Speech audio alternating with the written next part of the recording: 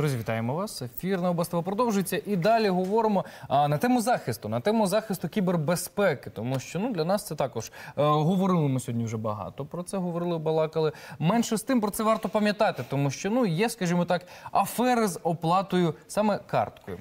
Так, мова йде про те, що шахраї придумали новий технологічний спосіб е, відбирання е, грошей у відвідувачів кафе, барів і ресторанів, використовуючи фальшиві термінали оплати. Зокрема, зловмисники шукають у соціальних мережах офіціантів, адміністраторів та інших людей, які можуть проводити розрахунок клієнтів.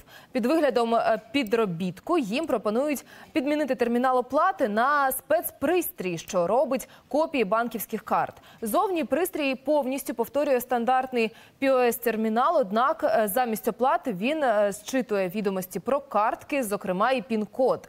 Для маскування під час проведення операцій з карткою фальшивий термінал видає чек, який повідомляє про те, що зв'язок з банком відсутній. Після того, як пристрій е, зчитає карту, шахраї підключать його до комп'ютера та за допомогою спецпрограми копіюють усю вашу інформацію. Зараз на мене зв'язку експерт з кібербезпеки Влад Стиран. Обговоримо цю проблему. Доброго ранку вам, доброго дня. Добрий день. Отже, ну логічне питання виникає: що робити? Платити е, ну налічкою або ну як це готівкою Як- просто як це що помітити? робити? Так, І як що? помітити це? І чи можливо це помітити взагалі? Ну от, е, звичайна людина? Е, Вам не варто цього робити. Це дуже багато е, знань треба надбати і дуже багато практикуватися. Це не варто робити, якщо ви не спеціаліст в цих справах. Звичайна людина. Ну, по-перше, я хочу вас поправити, це не новий спосіб, йому вже багато років. Та такий є І спосіб. підміна, підміна кінцевих точок оплати це класична атака. А, І, на жаль, вона працює навіть проти чіпованих карт. Е, Щоправда, невідомо, чи можна потім з цією інформацією імітувати нову шахрайську карту і красти гроші через неї, але то вже інше питання.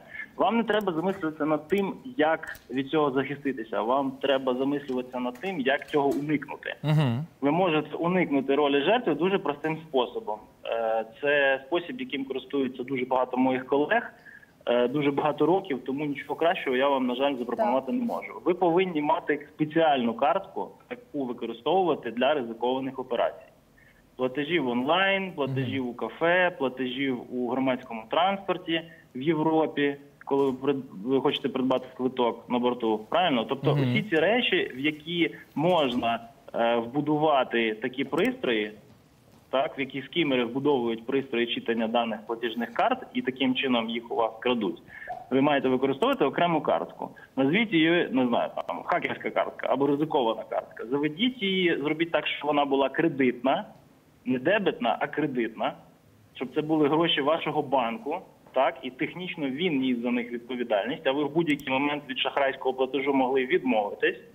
А, і повірте мені, ці гроші будуть застраховані, ці гроші будуть підкріплені резервом, і ці гроші згідно з правилами платіжної системи, Visa, MasterCard або інший, цей банк вам повинен буде е, в разі чого повернути або просто відмовитися від претензій на шахрайський платіж. І все. Це найбільш дієвий спосіб, який кожному під силу багато грошей ви не витратите, декілька гривень на місяць е, абонентської плати, і е, таким чином закриєте для себе перспективу стати жертвою таких шахраїв. Ну а таких шахраїв взагалі е, ви викривали от такі схеми? Їх взагалі можна викрити? Викрити можна всіх. Люди не від хорошого життя займаються шахрайством і е, кіберзлочинами. Зазвичай це люди, які або не можуть, або патологічно не хочуть займатися легальною працею. А такі люди, вони, скажімо так, роблять помилки. Я обмежуся на цьому. Е, Влада, що робити, якщо все ж таки ми потрапили на гачок шахраїв? Звертатись одразу до банку, звертатись в поліцію, звертатись до того закладу, коли якщо ми вже зрозуміли, що щось з нашою карткою, з нашими коштами не так.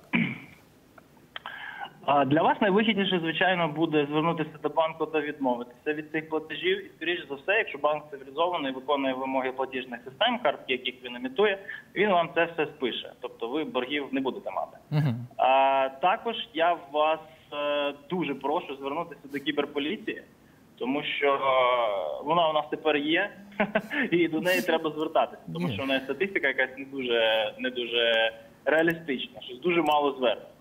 А вони мають ці всі дані отримувати на вхід, і вони мають їх якось агрегувати і робити з них якісь певні висновки. Я не закликаю вас звертатися до закладу, тобто приходити до закладу і якісь там влаштовувати розбірки. Це не дієво, тому що е, ну, по-перше, ви можете то відлякати шахраїв, і вони звідти втечуть. Так? А можливо, вже ведуться якісь оперативні дії по цим випадкам. Тобто ви не перші, хто звернувся до кіберполіції. А, тому ось варіант з зверненням у заклад я напевно би відкинув. А в Ну, банки то- кіберполіції це хороша ідея. Добре, ми дуже дякуємо вам е, за такі е, поради, так дуже слушні. Фахові, так, фахові поради. Поки, друзі, залишитеся з нами. Почитайте сайт обозрівателя, я поки піду всі гроші зніму з картки, або щоб, не дай Боже, знаєте.